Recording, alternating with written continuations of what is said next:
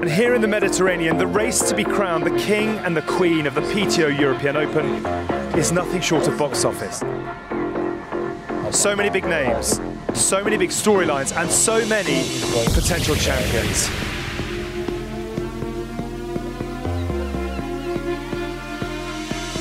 Hold your breath. The beat is about to drop on triathlon's the Ibiza Party.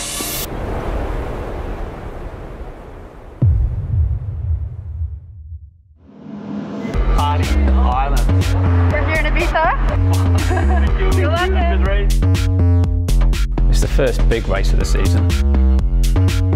It's a monster.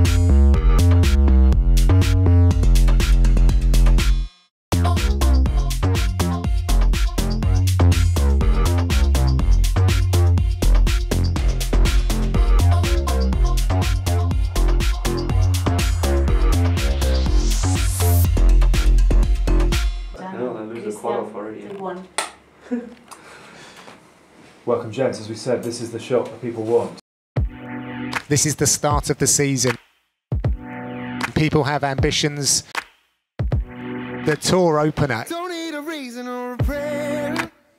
Give that a shadow of a doubt. Perhaps all of the athletes. The European Open is going to be their first A-list race of the calendar. So if you think the last time they actually raced in, in, in anger, for many of them it was last October. Well, now in May, that's over half a year. I'm throwing punches in the dark. Think how many months of preparation that is going in just for the one race. The big story, of course. Jan, Ali, Kristian, the last three Olympic champions racing for the first time together. We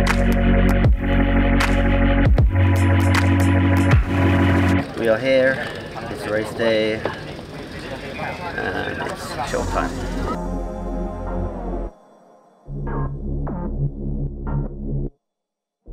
a race I've been looking forward for, yeah, maybe like 10 years. Like uh, he was like the top of the sport when I was uh, figuring out what triathlon was all about.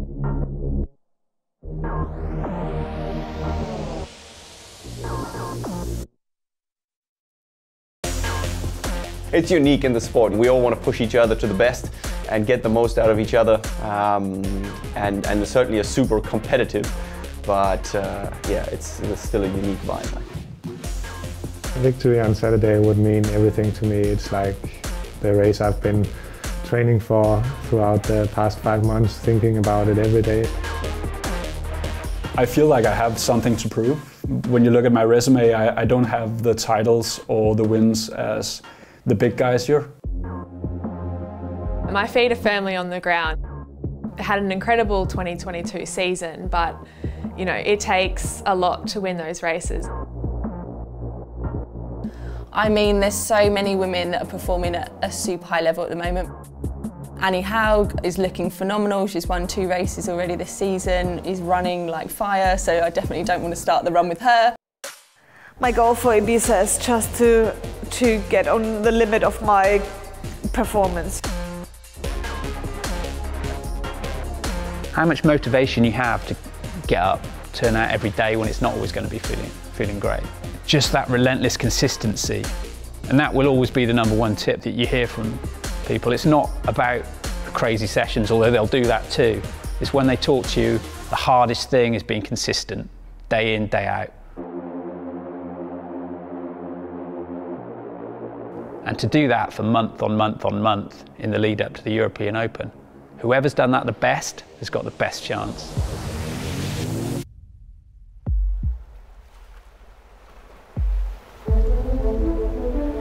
We have three of the greatest athletes of all time in the same race. For a lot of the athletes who are maybe flying a little bit more under the radar, they can prepare as they want and really just try and come in and take it away from those um, athletes that we're all focusing on.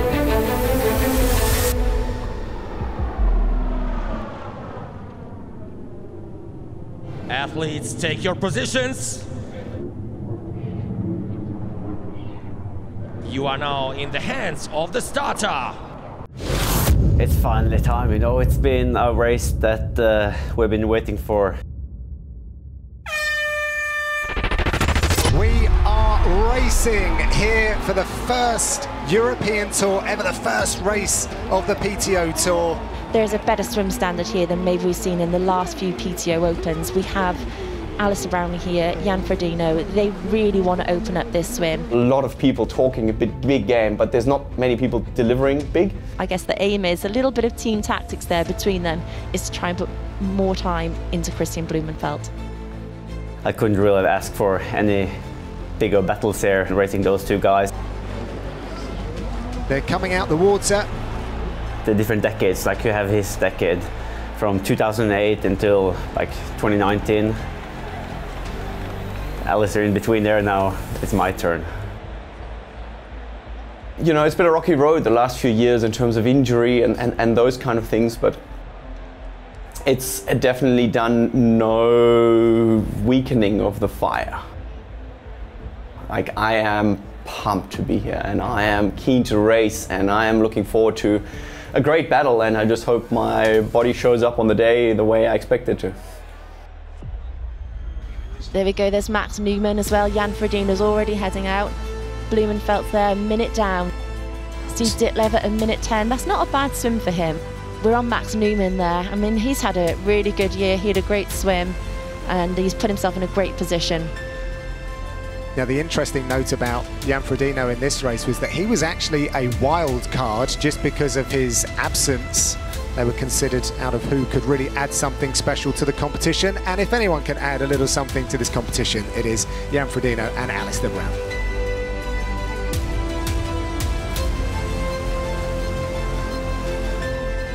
So Alistair Brownlee leading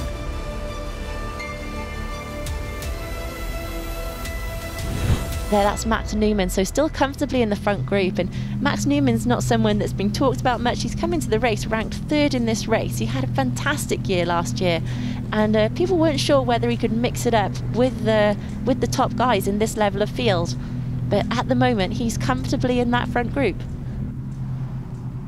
But Magnus Ditlev is on the move, just slowly starting to pass that front group so excited about the women's race too. There is such a strong field today, but we've been taken up with the men so far. So many of the top 10 are here. I think it's eight out of the top 10. One of the best fields assembled at this distance. I'm someone who does love to race and I'm hoping that we're going to see something good that's going to set the year off well. You know, when the gun goes off, it's going to be full gas. I need to start believing that I belong um, with the top girls, and I think mentally that's part of the game too, making sure that you know, no matter where I am physically, my head's in the game too, and I believe that I can be competitive. Athletes, take your positions. The women's race is just about to get going, and we are racing Analysts and fans have been celebrating this lineup as maybe the best ever, and now the women and the men are on the course. It's all go, go, go. It's got choppy out there. Just noticed that as Lucy Charles Barkley rounded that buoy, you could see the waves out there.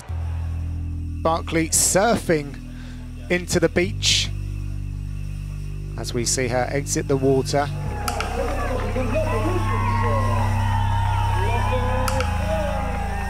Annie Haug at 111 down.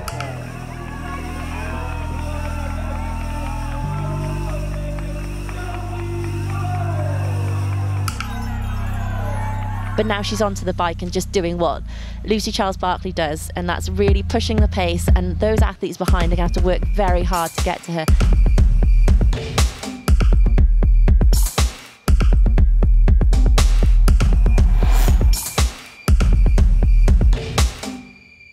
I mean, here we see they're back to the men. We've got Kyle Smith, still that group. Kyle Smith, Alistair Brownlee, Matt Neumann, and Magnus Ditlev. T2 now for the men. This is going to be very interesting indeed. We're talking transition. Who gets it down the smoothest? 40 seconds ahead of the chase group. There's Ditlev there just putting his bike in. Kyle Smith heading out.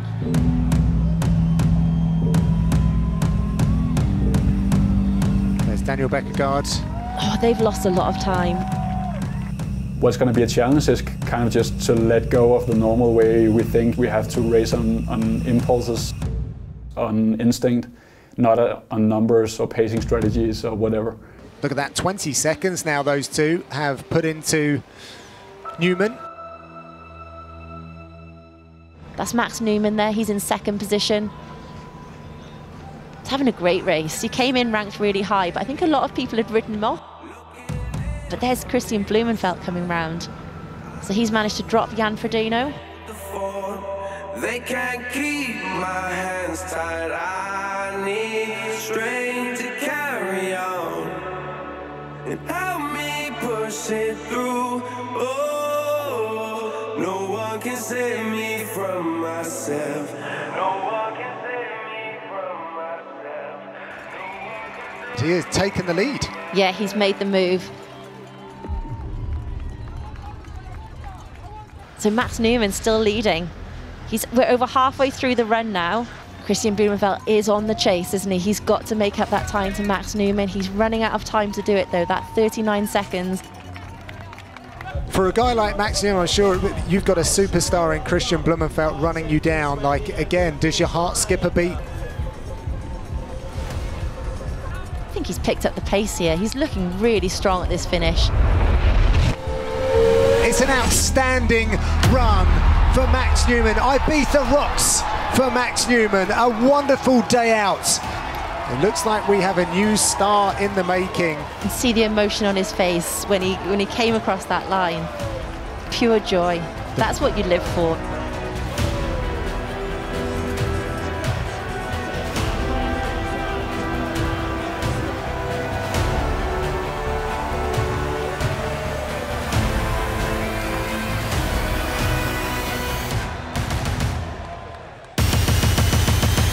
I can't wait to see how this run plays out. Gentle, Annie Haug, they're moving forward. They're in the mix. They're not too far away from that front. She hasn't seen anyone the whole day. She's only would have seen the athletes on the turnarounds, but they've always been over a minute behind her. It's been a lonely ride. That's Paula Findlay, Ashley Gentle. They're racking near each other, being kind of two of the top ranked athletes. Biggest challenges there to Lucy Charles Barkley. Ashley Gentle, just for coming off winning the last two PTO Opens. Annie Haug, she's going in in ninth position, but only two minutes down. Her runs have been devastating this year. I don't know why, but running comes a bit naturally to me. Time flies by and I just enjoy it. And I believe that Annie Haug has run herself into third place. She's been out there all day, and then you just have a target on your back the whole run. Goals you can achieve easily don't have the same values like races where you really have to dig in really, really deep. Then a victory is so much, so much better.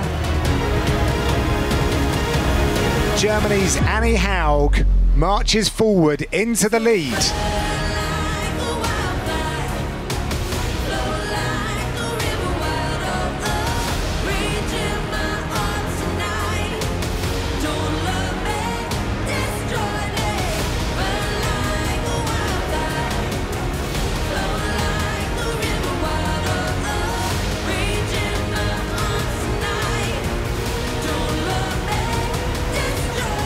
There she goes.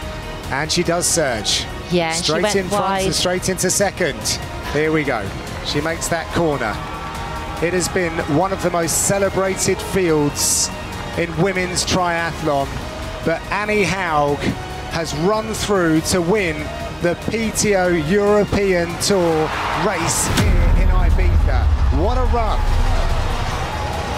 Wow, just what a performance. Absolutely incredible. Just demolished the field on the run. She's she's I mean there's people running from behind, but she just got herself in the perfect position, then just executed that amazing run. Brilliant stuff.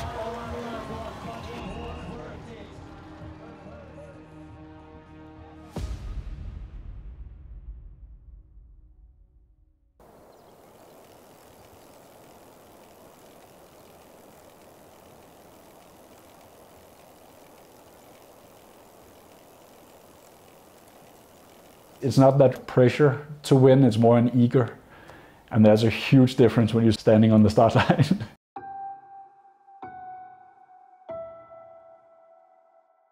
the Ibiza race, I thought I was in, in better shape than I showed on race day. I need to put it together. I want to win one of these races this year.